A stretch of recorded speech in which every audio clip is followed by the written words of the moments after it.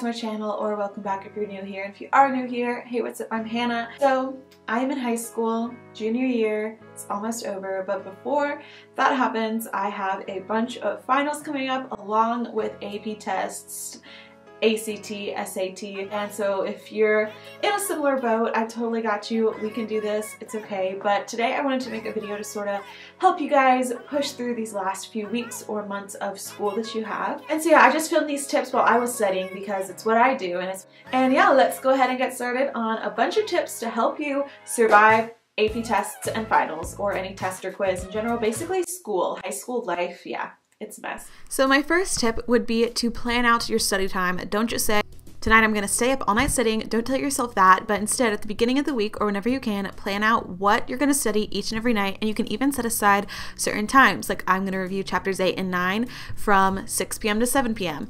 If you plan out your study time with tabs, in your planner or just on a piece of paper, in your notebook, wherever, or on your phone, then you will make sure that you don't waste time and you know you can get all the content reviewed before the day of your test. Before you sit down to study, get your jams on. Spotify's awesome has an abundance of playlists from whether you like just like classic instrumental to listen to, or maybe you like instrumental trap. Um, I love this one playlist called Study Vibes. It's my favorite personally to listen to while I study, but I don't always listen to music when I study. When it gets closer to the test, I don't listen to music since I can't listen to the music while I'm taking the test. So it's nice to listen to to help the time go by, but don't rely on it. My next tip would be to compare notes with either a friend that you know takes really good notes or even schedule a meeting with your teacher if possible where they can look over your notes before you start studying hardcore just to make sure you have all the right important main points. YouTube is for more than just watching my videos or videos that you enjoy. There's a bunch of great educator and teaching videos on YouTube for any test that you're looking for, whether it be ACT, SAT, AP exams, or just best test taking tips.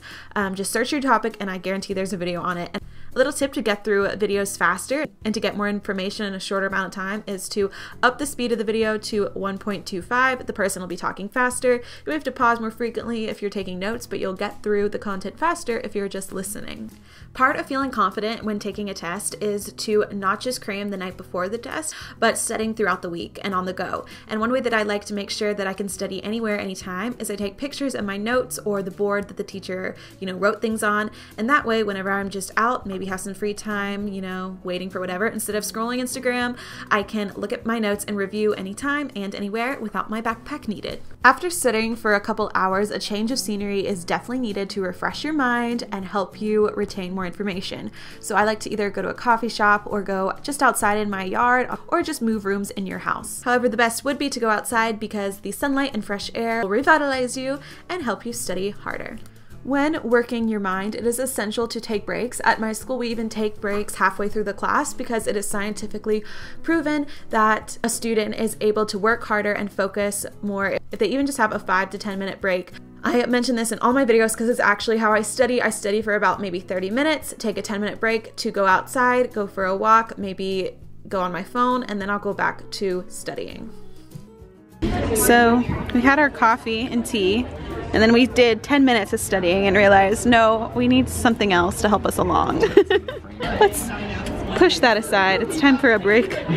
So I am not the best throughout the school year. I do not color code my notes, but I do go through when I'm studying or right before I'm about to study, and I take some tabs and I put the tabs throughout my notebook or throughout my workbook of what's important, what's semi important, and what's most important. I do this by doing like one exclamation point if it's like, okay, yeah, that's sort of important, maybe know that.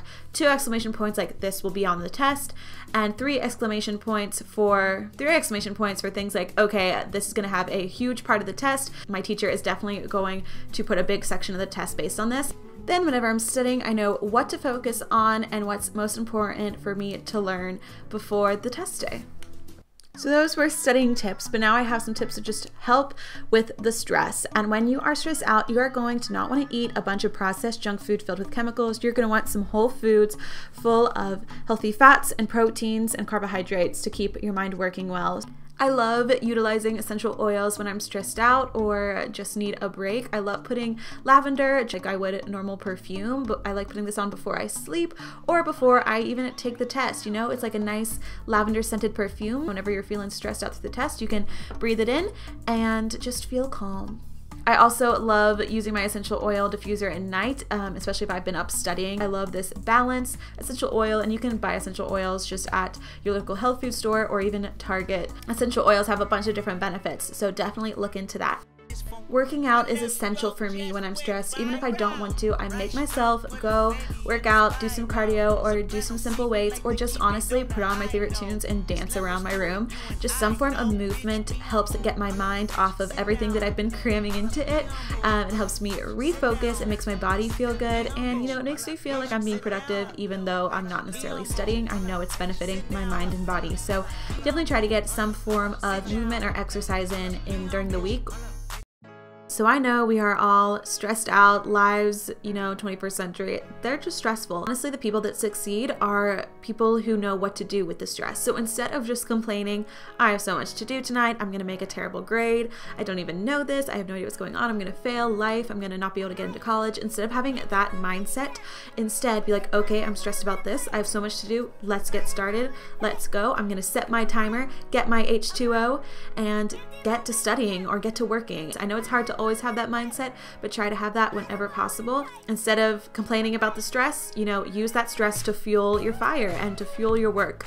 So there we go guys, those are all my tips. Hopefully some of these helped. So thank you all so much for watching. If you've made it to this part of the video, then I have a special offer for you. Go and comment school life struggle on my most recent Instagram post and I will go spam your account if you are not on private. I've been really loving stalking your guys' social media lately, so if you're ever like on my Instagram, leave a comment. And also I have a lot of fun summer videos coming up, so make sure you stick around and click that notification button so you don't miss any exciting videos.